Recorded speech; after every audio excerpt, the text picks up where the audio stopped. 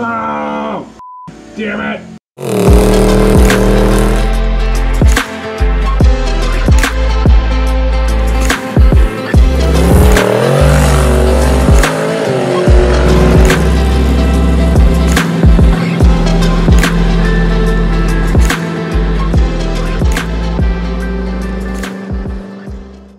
All right, what's going on, guys? Well, whoa, hold on. You're a little dirty. Let me clean you off there.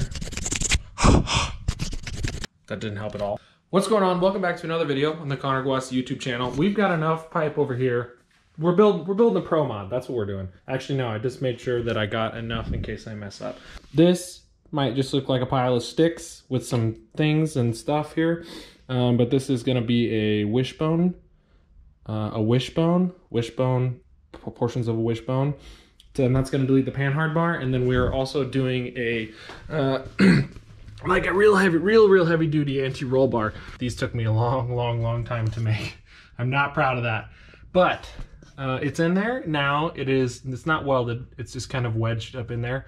But it is a, about about exactly level with the rear end. That's in there. Now what i'm doing in my mind what my plan is in my mind is on one side of this tube, on the forward side of this tube, is going to be the mount for the wishbone. The wishbone is going to go up. The wishbone's going to mount right here, right underneath this level. And it's going to go forward with one leg that way and forward with one leg this way, up to the front of the fuel tank, right here, just like that. And uh, there's going to be another crossbar that goes from right here. You can see that spot that I cleaned off. That's the, directly the bottom of the cage. Um, there's a six inch plate right there. I'm getting a phone call. We should make tele telemarketing should be legal in the United States. We should get rid of that.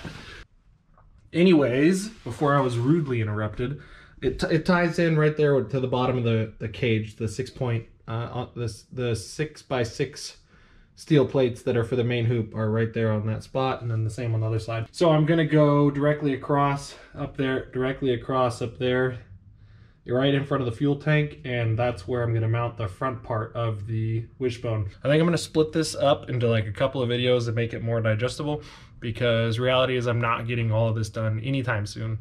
So whatever I get done in a day or a, day or two, I'll edit into one video and then um, we'll just keep going. We'll just keep it going.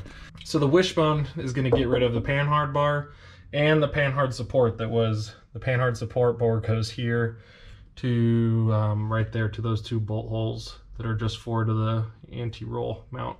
And then I don't know if you guys remember, I can insert a picture of what the rear end use what looked like with all these crazy bars back and forth. Basically all of that like silver finished tubes in this picture are going to be gone and all we're going to have is this chromoly tube here that goes that the wishbone mounts to and then the anti-roll bar is also going to mount on this this bar but it's going to be on this backside. Um, and then it's going to go it's going to be on this backside. The arms are going to come out out this way and then it's going to mount somewhere up here. I haven't decided yet. But we're going to get rid of all those crazy crossbars. The reason we're doing that is because the panhard bars are terrible for cars that separate. So you're sitting at ride height and the car is nice and the car is nice and the rear end is sitting right where it wants to, but as soon as the car tries to separate, since this panhard bar comes down at an angle, um, it as soon as the rear end one separates, it shifts the rear end out of center and then now you have rear steer in the car.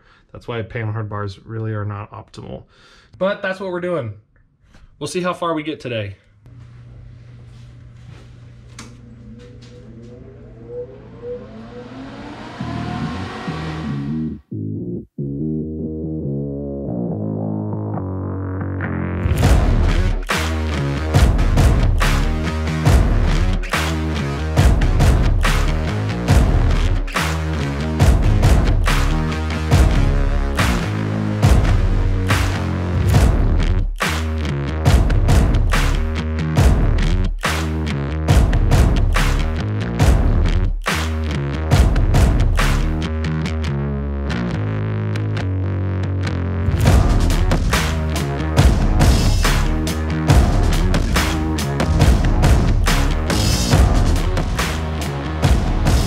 That's not how tungsten's supposed to look. Alrighty, so yesterday we left off I did some work without filming, but I mean, all I did honestly was tack this stuff in. Um, I tacked in this tab right here. Uh, boom, that tab right there for the wishbone, and then I tacked that little guy. I don't know if I'm gonna leave him or not, knock him back out or what. I have no idea. Right now I'm working on the wishbone. That's the first thing that's gonna happen is we're gonna do the wishbone, and so we can take the panhard bar out, and then we're gonna be able to do the anti-roll bar. If you see that I'm covered in all of this white flaky, it's because I was practicing on this piece of PVC on this notch for the wishbone. Um, I think I got it. So I'm gonna give it a shot with these two out there and then measure this distance right here, which would be after I mocked it up in the car, the distance from this point to this point is 18 inches, which will give me the right intersect angle up there. And then I just mark parallel on the tube where I'm gonna cut it. We've got 18 on center for the tubes. There we go on this end. And then you can see the little mark. This is the one I was talking about. You just, just parallel right here. And then I'm gonna use a cutoff wheel to just cut that off and then use the, and then use a flapper wheel to um, notch it out. Well, that's the plan at least. I say that confidently, but there's PVC all over the car because I was practicing. Look how much faith I had in myself. This is how much practice PVC I bought. Um, this is how much I used before I decided that I wanted to play the high stakes game.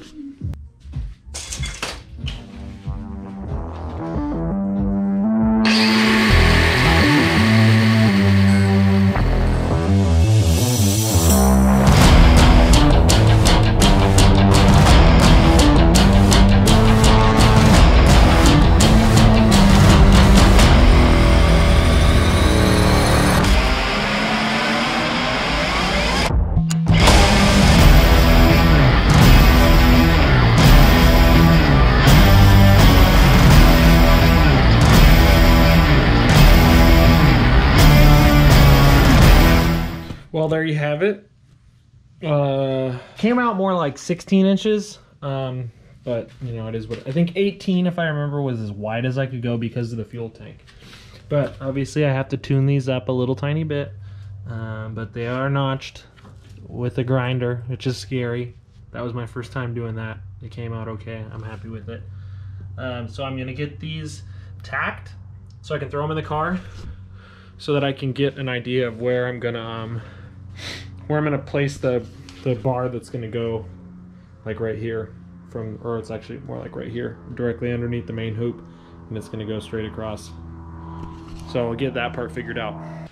It's a good thing that ow what the hell? Dirty bastard. It's a good thing that um I didn't do 18 inches because look at that.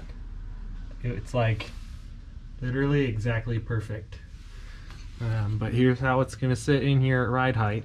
Now what this is doing, for those don't know what a wishbone does, it's it's centering it's centering the rear end. Instead of this panhard bar, the wishbone's going to center it. We're going to get rid of this because these suck. It's in here. This is tacked.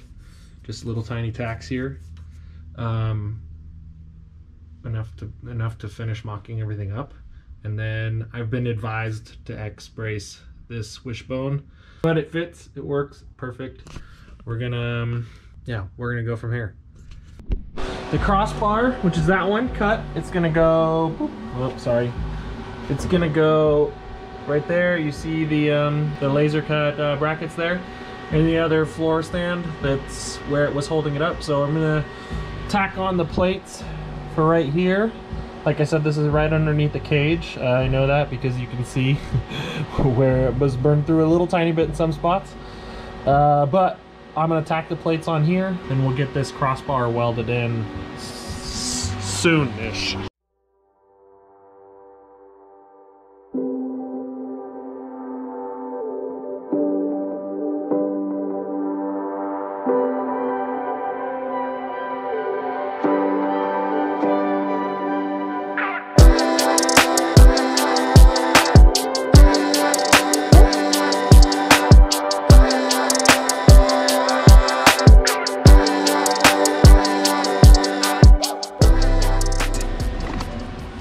Mm, can you guys see that?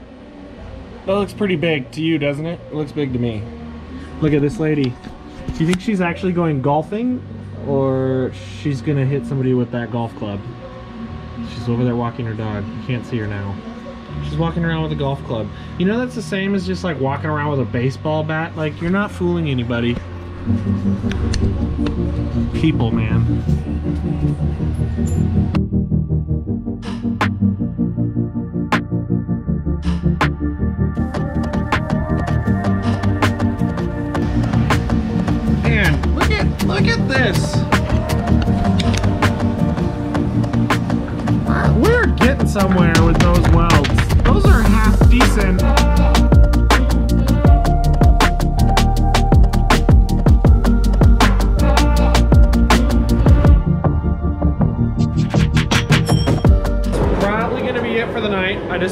I got this new toy. I've obviously already tested it out, but $150 on Amazon, all billet tubing notcher. Comes with everything except for notcher, or except for the hole saws. So you just have to get your own. And it's so needle bearing too. Dual needle bearing, two on each side. Like I said, it's all billet. Uh, Amazon has them for 150 bucks. I'll leave a link in the description if you want one of these billet tubing notchers for 150 bucks. I'm getting stuff all over the workbench just for you guys.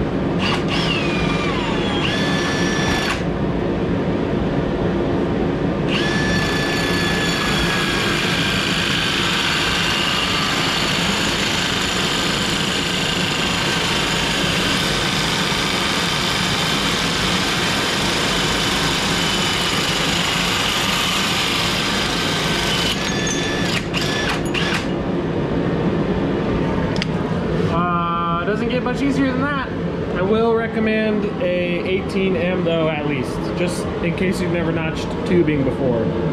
And uh, the only thing I had to do, you can see right here, just to adjust it because it was notching off center, I just added four sheets of paper under here and now it's pretty much dead nuts on center. It might be a little bit, uh, a little bit off still, but this is way, way, way more manageable. So I'm not even gonna put, I'm not even gonna clean this up at all. Ready here, just, just, oh, uh, there's a little bit of gristly stuff in here that's, look, just look at that. That is about as easy as it gets. I mean, come on. It- if you're doing anything with tubing, it goes up to three inches. Anything with tubing, uh, I would get one. Alrighty, it is the next day. Um, that's probably gonna wrap up this video. We're gonna, I'm about to get started. I'm about to get started today on picking up where I left off, but I'm also gonna stop this video because it is like 22, 23 clips already. I have a lot of editing, but uh, yeah, we'll pick up where we left off on the next video. Thanks for watching. Like always, comment, like, subscribe, and we'll see you on the next video.